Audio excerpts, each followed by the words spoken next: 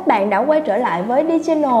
Hôm nay trong không khí tưng bừng náo nức của việc chiếc MacBook Air lung linh lấp lánh vừa về hàng tại Di động Việt, mình vô cùng vinh dự là người được mở hộp em nó và có những đánh giá tổng quan về chiếc MacBook mới nhất nhà Apple để các bạn cân nhắc xem liệu mức giá 37 triệu cho em nó là có xứng đáng hay không nha.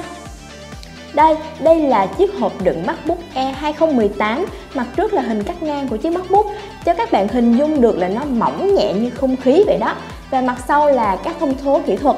Mình sẽ mở ra ngay đây. Hồi hộp quá. Chiếc MacBook Air trước mặt mình có màu vàng hồng, rose gold khá là nữ tính. Chúng ta sẽ có một lớp vỏ nhôm tái chế láng mượt và không bám vân tay.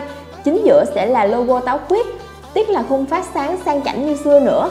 Với cân nặng 1,25kg thì phiên bản 2018 này cũng nhẹ hơn MacBook Pro 13 inch đó. MacBook Air 2018 vẫn giữ lại kiểu vách mỏng dần xuống dưới giống như là MacBook Air ngày xưa. Theo cảm nhận của mình thì tổng thể Air 2018 chắc chắn hơn, mỏng hơn và hiện đại hơn khá là nhiều. Còn đây là củ sạc 3 chân, có đầu ra là USB Type-C, cũng như sợi cáp của chúng ta hai đầu đều là USB Type-C cả. Đây là thời đại rực rỡ của cổng Type-C có phải không? Quay trở về với nhân vật chính của chúng ta nào một điểm mới đáng chú ý của MacBook Air 2018 chính là cảm biến vân tay. Cảm biến này giống như một nút bấm bằng kính nằm ở góc phía bên phải của bàn phím khá là nhỏ. Với Touch ID này thì chúng ta chỉ cần chạm là mở và dưới sự hỗ trợ của con chip T2 chúng ta sẽ có thêm tính năng Hey Siri để gọi trợ lý ảo lên bằng giọng nói và nhờ nó làm những việc mà chúng ta muốn. Tiếp theo, chúng ta sẽ nói đến bàn phím. Rất nhiều người phiền lòng vì phát minh bàn phím cánh bướm đỏng đảnh có thể liệt chỉ vì một hạt bụi. Nhưng Apple đã hứa hẹn với bàn phím cánh bướm thế hệ thứ ba này là sẽ hạn chế tối đa bụi à, bẩn bị lọt vào khe bên dưới dẫn tới liệt hoặc là kẹt phím. Mình thì đánh giá cảm giác gõ thật hơn nè, phím lướn xuống cảm giác hơn, độ ồn khi gõ cũng ít hơn nữa. Hai giải loa hai bên bàn phím cũng có âm lượng lớn hơn so các thế hệ cũ, các âm trầm đánh chắc nịch và có lực hơn, đồng thời cảm giác về hai kênh âm thanh stereo cũng được tách bạch và rõ ràng. Với thế hệ MacBook mới nhất, tất cả các cổng USB-A của MacBook Air hồi xưa đã được loại bỏ hoàn toàn. Thay vào đó là hai cổng USB-C hỗ trợ Thunderbolt 3 cho phép chúng ta xuất hình ảnh ra các màn hình bên ngoài. Đồng thời cũng sẽ sạc cho máy qua cổng này luôn.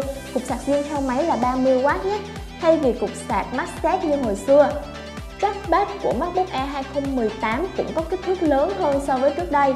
Tất nhiên là bàn rê này cũng hỗ trợ cảm ứng phản hồi lực Force Touch, mở rộng thêm tiếng bấm bằng thao tác nhấn mạnh hơn bình thường Kỳ thuật thì kích thước bàn V này lớn hơn, kết hợp với khả năng nhận diện đa điểm, sẽ giúp thao tác sử dụng được thoải mái và tiện lợi hơn khá nhiều đó. Sau tất cả, chúng ta có một chiếc MacBook Air với màn hình Retina, kích thước 13 inch với độ phân giải là 2560 x 1600 và thật sự, nếu bạn nào đang dùng MacBook Air cũ mà nhìn màn hình này sẽ ngay lập tức thấy chất lượng hiển thị được cải thiện cực kỳ nhiều.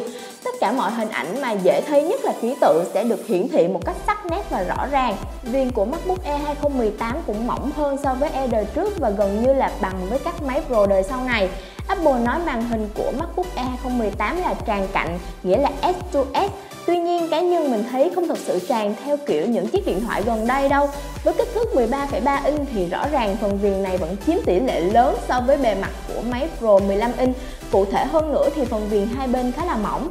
Phần viền dưới là mỏng nhất và phần viền trên nơi chứa cụm camera là dày nhất.